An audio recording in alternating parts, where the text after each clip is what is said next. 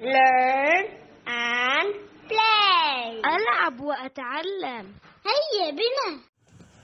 عن أبي يعلى شداد بن أوس رضي الله عنه عن رسول الله صلى الله عليه وسلم قال إن الله كتب الإحسان على كل شيء. فإذا قتلتم فأحسنوا القتلة. وإذا ذبحتم فأحسنوا الذبح. وليحد أحدكم شفرته وليرح ذبيحته. رواه مسلم.